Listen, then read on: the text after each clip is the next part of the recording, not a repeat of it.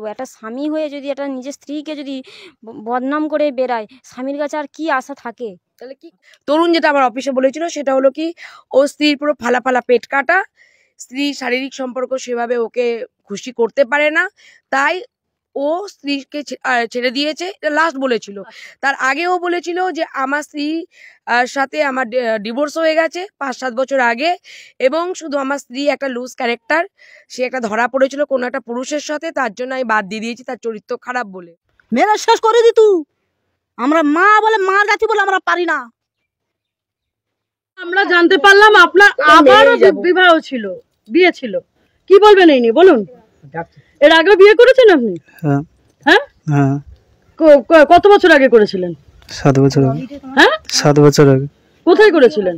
দেখাশোনা করে করেছিলাম। তা আপনি সেদিনকে মিথ্যা কথা বললেন কেন? আপনি সেদিনকে মিথ্যা কথা বললেন কেন? ওদের সাথে আমার সম্পর্ক নেই, সম্পর্ক ছেড়ে গেছে সব। আপনি বারংবার বিয়ে করেন ওনাকেও বলেছিলেন যে আপনি ডিভোর্স দেননি এদিকে আপনাদের নাকি একটা সমঝোতা হয়েছিল এটাই নাকি ডিভোর্স আপনি বলেছিলেন তো এই কথাটা? হুম। নেই? বিয়ে তরুণের কটা বিয়ে? তরুণের হিসাব মতো আগে একটা ছিল এই তো একটা হয়েছে এরপর আর কি হয়েছে বলতে হবে না। তরুণের আগে একটা ছেলের বউ আছে? ও তরুণের দুটো বিয়ে? হ্যাঁ। তরুণের এটা এই যে বাচ্চুদার যে বোনকে বিয়ে করেছে হ্যাঁ। এটা আগে বিয়ে আর একটা আছে। আচ্ছা। ছেলেটা বেশ বড় মতন হয়ে গেছে। আর এখন যেটা বিয়ে করেছে? রাগারাগি করে বাপের বাড়ি গেছে। এখন যেটা বিয়ে করেছে? এই দেখো। এ বিয়ে এখানটা হয় না আমরা জানি না। ও আগের বিয়েটা আপনারা জানতেন? আগের বিয়েটা বিয়ে হয়েছে আমরা জানি। আচ্ছা, আচ্ছা। বিয়ে হয়েছে এখানে বাড়ি হতে পাশাপাশি এরা নাকি ছোটবেলার বন্ধু বান্ধব এরা। এখানে বিয়ে করেনি। এরা বিয়ে টিয়ে করে ওরা এখানে আসে ঠিক আছে? তখন আমার দাদা বেঁচে ছিল। এখন দাদা আপনাদের রিলেটিভ হয় তরুণরা? তরুণা বলতে আমার সিস্টার মেয়ের ছেলেও। একটা করে বিয়ে করবা আমার লোকের বউ নিয়ে ফুটে গিয়ে আর একটা করে বাচ্চা দিবা দিয়ে তুমি তাকে ছেড়ে দিবা। হ্যাঁ? এর আগে তুই একটা বিয়ে করেছিস বলেছিস? কেঁচো খুঁড়তেই কেউ উঠে বেরিয়ে এলো। এই প্রবাদ আমি আপনি সকলেই জানি। কিন্তু এই প্রবাদের সাথে মিলে যাওয়া এক কাহিনী আপনাদের শোনাবো, যা শুনে আপনারা সকলেই তাজ্জব হয়ে যাবেন। মনে আছে, বেশ কয়েকদিন আগে এক ত্রিকোণ প্রেমের কাহিনী শুনিয়েছিলাম আমাদের নিউজ চ্যানেলের মাধ্যমে। সজলবাবু সোমা দেবী এবং সোমা দেবীর প্রেমিক তরুণ বাবুর কাহিনী। কিন্তু তরুণ বাবুর বিষয়, সমাজসেবিকা বাবলি মুখার্জি সত্যের উদ্ঘাটন করতেই সোমা দেবী তার স্বামীর কাছে ফিরে যান। সমাজসেবিকা বাবলি মুখার্জি জানতে পারেন তরুণ বাবুর একটি স্ত্রী ও পুত্র সন্তান বর্তমান, যা প্রথমে লুকিয়ে গেলেও পরে তা স্বীকার করতে বাধ্য হন তিনি। এতটুকু পর্যন্ত মোটামুটি সবই ঠিক ছিল। কিন্তু এরপরেই গল্পের অন্য এক মোড়। তরুণ বাবুর শ্বশুর মশাই সমাজসেবিকা বাবলি মুখার্জির কাছে আবেদন জানান, তরুণ বাবুর আরও একটি স্ত্রী ও পুত্র সন্তান আছে। যার সাথে তরুণ বাবুর দেখাশোনা করে সাত বছর আগে বিয়ে হয়। সেই স্ত্রীর সাথে তিনি আর কোনো রকম সম্পর্ক রাখেননি।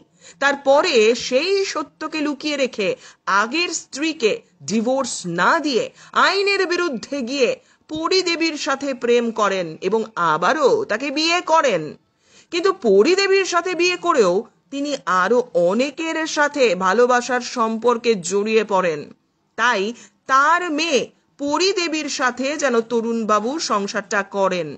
আগের স্ত্রীর সাথে যে ঘটনা ঘটিয়েছেন তরুণবাবু, তার যেন পুনরাবৃত্তি না ঘটে। এদিকে তরুণবাবু সকলকেই জানাচ্ছেন, তার স্ত্রীর চরিত্র ভালো নয়, তাই তার স্ত্রীকে তিনি ডিভোর্স দিয়ে দিয়েছেন। এইভাবে একাধিক সম্পর্কে জড়িয়ে পড়েন তিনি।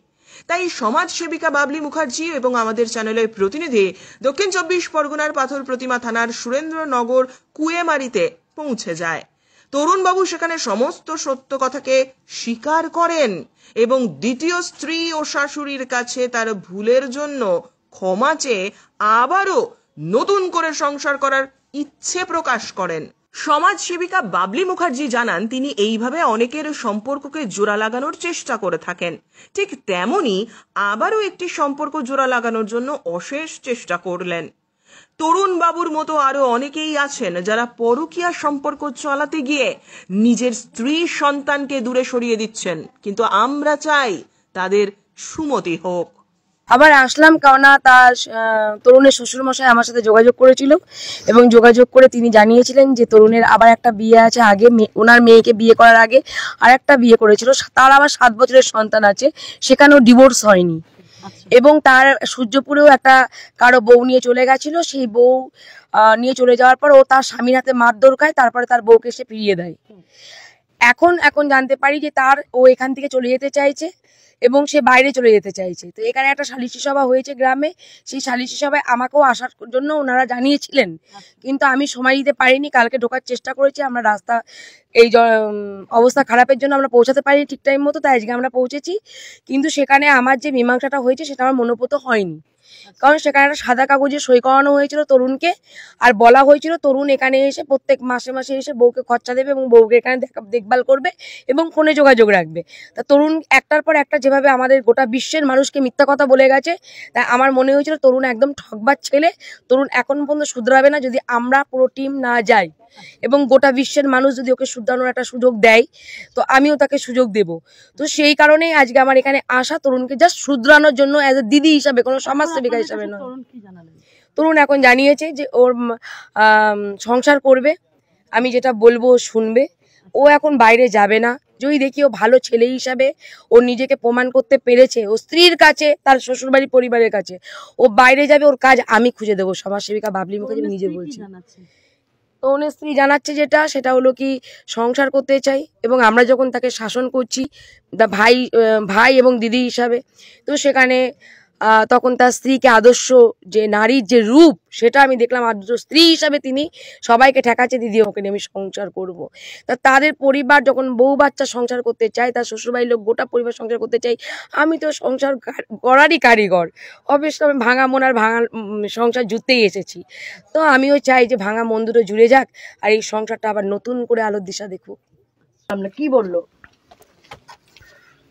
জোরে বলো। মানে আপনি এর আগে যেগুলো সম্পর্কের জন্য উনি এসছেন যে আপ- আপনার এর আগে সম্পর্ক ছিল, ঠিক আছে, সমাদেবী ছাড়াও, তাহলে এগুলো তো একদম সত্যি।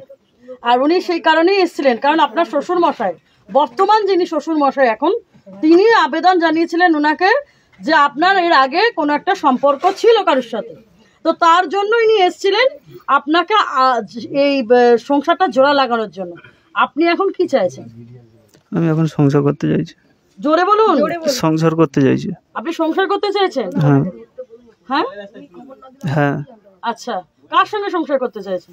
আমার স্ত্রীর পরির সংসার করতে চাইছি। তাহলে এখানে থেকেই করবেন সংসার? হ্যাঁ। মানে এখানেই কাজ বাজ করবেন? হ্যাঁ। তারপর ওই আহ, স্ত্রী আর সন্তানের খেয়াল রাখবেন? হ্যাঁ। এখন আহ, মানে এই সন্তানকে নিয়ে সংসার করতে চাইছেন তাই তো? হ্যাঁ। পাড়ার মেয়ের আবার নতুন সংসার জোড়া লাগল? খুশি তো? বাবা তরুণ বাবু তরি তরি আর তরুণ বাবু একসাথে হলো? আপনাদের পাড়ার মেয়ে তো? মা হয়ে কি আমরা কোনোদিন করতে পারি? আমরা চাই যে ওরা সংসার।